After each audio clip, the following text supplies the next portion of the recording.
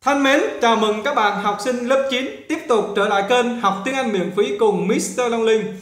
Hôm nay chúng ta bắt đầu vào làm bài tập của Unit 7 Saving Energy.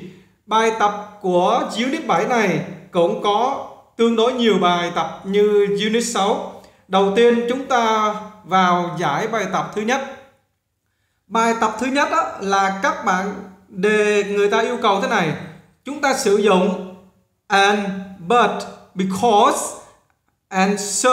Bốn cái từ, bốn cái liên từ này. Bốn cái liên từ này để liên kết mỗi bên cột A và cột B. Mỗi câu bên cột A tương ứng với mỗi câu bên cột B và sử dụng một trong bốn cái liên từ mà chúng ta vừa cho đó để nó tạo ra một câu có nghĩa. Được cho các bạn. Các bạn có thể viết thêm nhiều câu nữa, tùy. Ví dụ câu 1 này có thể tương ứng với hai, ba câu bên này cũng được. Tương tự câu 2 cũng vậy, nó có thể hai ba câu bên này cũng được. Có thể ta viết nhiều cũng được, không sao. Miễn là cái câu nó đúng cái ngữ nghĩa của nó và đúng ngữ pháp là đương nhiên rồi. À, ta bắt đầu tìm hiểu từng câu một các bạn nhé. Ví dụ như bên câu 1 này, bên cái cột A này, câu 1 này là cái nghĩa của nó là An á, thì học à, rất học rất là chăm chỉ tất cả mỗi cái môn học An đều học chăm chỉ vậy thì cái cột A như vậy thì nó tương ứng với cột B như thế nào so với các liên từ này. Nếu ta chọn liên từ này hoặc liên từ này hoặc liên từ này hoặc liên từ này thì chúng ta phải tạo cho một câu có nghĩa. Được chưa các bạn? Và nó không có bị uh, nó không có bị uh, ăn không ăn khớp. Vậy thì để làm được cái điều này á thì các bạn phải nắm chắc các cái liên từ này cái cách sử dụng của nó. Ví dụ and này á là nó kết nối hai câu với nhau hai câu với nhau trong một cái mối quan hệ tương quan nào đó. Còn cái but này á, là nó mang một cái nghĩa tương phản một xíu hoặc là một cái nghĩa đối lập nào đó. Tí nữa đi vào từng câu cụ thể thì chúng ta sẽ thấy rất rõ hơn nữa. Và cái because này á là nó giải thích cho một cái vấn đề nào đó cho một sự kiện nào đó cho một điều nào đó. Và cái so này là cái một cái hệ quả một cái tất yếu một cái kết quả đưa đến cho một hành động hay cho một cái điều gì đó.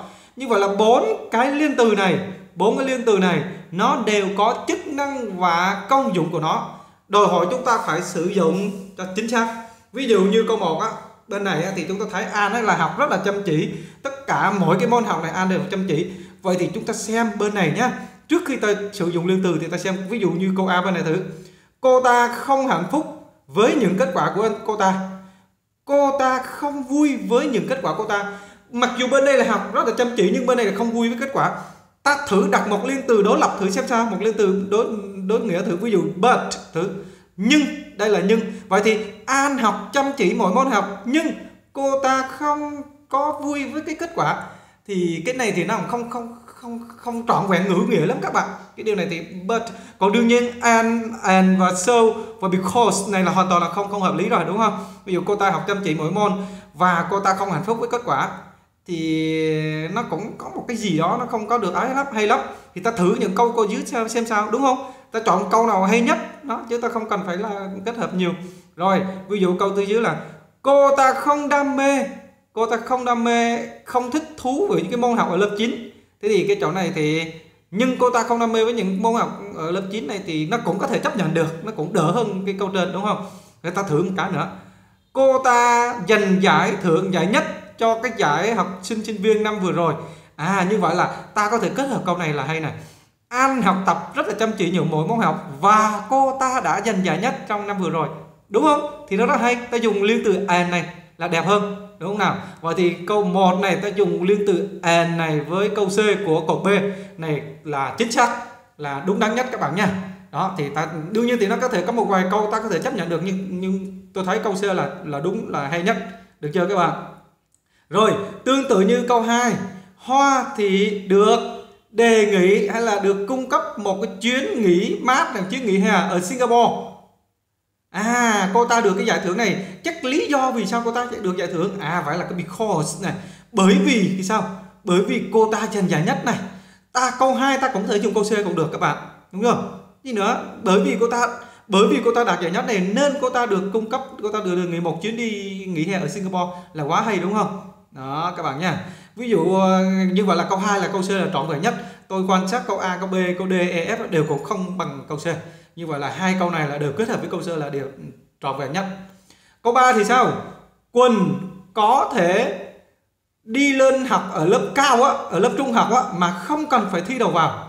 Quỳnh có thể vào học cái lớp trung học, các lớp trung học cơ sở, mà không cần phải thi đầu vào. Các lớp trung học phổ thông, trung học phổ thông, mà không cần phải thi đầu vào. À vậy thì sao? Cô ta đạt được như vậy, đúng không? Vậy thì sao các bạn? Cô ta có thể học cao hơn có thể vào học cao hơn nhưng không phải thi vào đầu vào vậy thì ta xem thử nào. Nhưng cô ta không không hạnh phúc với kết quả. À cái này thì cũng có thể chấp nhận được cũng có thể thôi các bạn nha. Vì cô ta muốn cái điểm tuyệt đối chẳng hạn cô ta có thể được tuyển thẳng vào rồi nhưng cô ta vẫn không có hài lòng với kết quả thì cũng có thể chấp nhận được có thể dùng cái liên từ but chỗ này cũng được đúng không nào? Rồi cái uh, cái này thì cũng không bằng ý nghĩa bằng câu A được. Rồi cái này thì ừ cái này cũng được. C cũng đúng các bạn, đúng không? Cô ta được tuyển thẳng vào cấp lớp cấp trên mà không không không phải thi đầu vào. Bởi vì cô ta giành giải nhất. Nó dùng because này cũng được. Đúng chưa các bạn?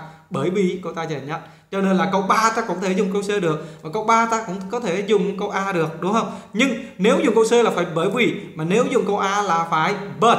Được chưa các bạn?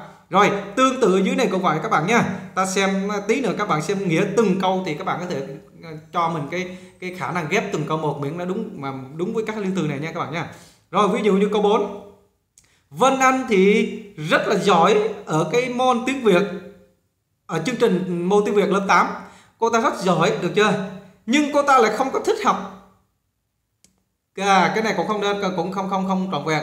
Cô ta rất giỏi ở chương trình à, môn tiếng Việt ở lớp 8 rồi à câu này hay này đây câu này là hợp lý này cô ta rất giỏi môn tiếng Việt ở lớp 8 và thầy giáo tiếng Việt của ta là rất là hạnh phúc được chưa? Gọi là dùng liên từ à hoặc là sâu sâu cũng được. Vì vậy thầy giáo của ta rất là hạnh phúc cũng được. Hai cái liên từ này ta có thể chấp nhận được. And và sâu được hết, được chưa? Đó, cô ta rất giỏi cái này nè. Vì vậy thầy giáo của ta hoặc là cô ta rất giỏi tiếng việt này. Và thầy giáo của ta cũng là hạnh phúc. Và hai cái này đều chấp nhận được các các bạn nha. Cái đó là tùy vào cách của chúng ta làm. Rồi, mai thì đã cố gắng hết sức. Mai đã cố gắng hết sức của ta rồi, nhưng cô ta đã thi rớt cái cái cái, cái kỳ thi à, cuối cùng của năm vừa rồi thì chắc chắn chỗ này phải là but đúng không nào? Cô ta cố gắng rồi nhưng cô ta thi rớt. Đó cái này là hợp lý nhất. Đương nhiên cái này là điều chặt chẽ nhất. Cái này những cái này các bạn có thể liên tưởng có thể sử, sử dụng một trong ba liên từ còn lại. Nhưng cái but but vô đây cùng với kết hợp với câu này là quá quá trọn vẹn luôn các bạn nha rồi cái câu 6 Trang thì làm việc rất là chăm chỉ ở môn môn tiếng Việt được chưa? Vì vậy, thầy giáo của ta có hạnh phúc, ok, cái này vì vậy cũng được, vì vậy so này cũng được được chưa? Đó, nhưng cái này, có thể, nhưng cái này cũng được, cô ta làm việc rất rất chăm chỉ, cô ta học chăm chỉ môn tiếng việt, nhưng cô ta thi rớt cái kỳ thi cuối cấp vừa rồi, cũng được, đúng chứ các bạn? Đó, tùy vào cái cách chúng ta chọn, được chưa? Nếu chỗ này là nhưng, thì chỗ này là, nếu kết hợp với câu này phải là nhưng, được chưa? Là but. Còn nếu kết hợp với câu này thì các bạn có thể là and hoặc so cũng được and Excel này cũng được. Ok. Như vậy là quan trọng là chúng ta phải hiểu hiểu hết nghĩa từng câu này để chúng ta kết hợp với bốn cái liên từ này. Cho nó hay. Và một nghĩa bốn liên từ này các bạn biết rồi. Và nghĩa từng câu này các bạn còn biết rồi đúng không nào? Đã ví dụ chỗ này là cô ta không có thích thú các cái, không thích, thích thú ở cái chương trình lớp 9 được chưa? Các môn học ở chương trình lớp 9 rồi như vậy là các bạn đó à cái chỗ này nữa. Bố mẹ cô ta là không cho phép cô ta. Bố mẹ của cô ta không cho phép cô ta đi ra bờ biển với với ờ, với họ. À vì cái ví dụ chỗ này á thì cái ta cũng có thể kết hợp chỗ này. Cô ta à, mặc dù cô ta đã cố gắng hết sức rồi nhưng bố mẹ cô ta cũng không có cho cô ta đi cũng được vân vân. Được chưa các bạn? Tùy tùy vào cách chúng ta kết hợp và mà chúng ta dùng liên từ cho nó hợp lý. Như vậy đây là một cái câu một câu một là câu đề nó tương đối là mở các bạn nhé. Và nó, nó phát huy cái khả năng tư duy của chúng ta. Quan trọng là chúng ta dùng nhuần nhuyễn của bốn liên từ này. Và bốn cái liên từ này á, thực ra nó dùng dùng rất là linh hoạt trong các cái à, trong các cái câu nói của tiếng Anh các bạn nhé. Và sau khi các bạn đã kết hợp được hai câu bên này cùng với những liên từ đó, thì các bạn luyện nói, các bạn nói càng nhiều thì các bạn càng càng giỏi. Và thậm chí các bạn nói xong rồi đó các bạn đọc lại, các bạn đọc xong rồi các bạn viết ra các bạn viết ra để ý tại sao cái câu đó là dùng chữ đó và chữ đó là như vậy. Ví dụ như chỗ này là người ta đang dùng quá khứ đơn đúng chưa? Được chưa các bạn? Thì bên này á, thì các bạn cũng cố gắng nó phải liên quan đến thì quá khứ đơn. Được chưa các bạn? Này toàn là quá khứ đơn quá khứ đơn các bạn thấy chưa? Chứ nếu chỗ này là quá khứ đơn rồi mà bên này mà quá khứ mà bên hiện tại đơn á thì nó lại nó khập khiễng đi nó không có tương xứng được chưa các bạn? Trừ những trường hợp đặc biệt ví dụ đây là quá khứ đơn đây là quá khứ cái này là bị động trong quá khứ được chưa? Bị động của quá khứ. Tất cả quá khứ này các bạn thấy quá khứ tất cả quá khứ hết. Thì bên này thế này. Nó các bạn thấy chưa? Đều quá khứ này quá khứ này quá khứ này. Nó chỉ có cái này là hiện tại thôi. Được chưa các bạn? Vậy thì các bạn để ý này chúng ta viết ấy, thì nó phải tương ứng với cái thì của nó các bạn nhé. Được chưa? Đó đó là cái cách của chúng ta giải quyết cái vấn đề để nó không có được để nó nhuần nhuyễn. Và sau này các bạn làm nhiều thì các bạn sẽ quen này. Được chưa? Rồi bây giờ hẹn các bạn ở video tiếp theo để chúng ta làm bài tập tiếp theo bài tập số 2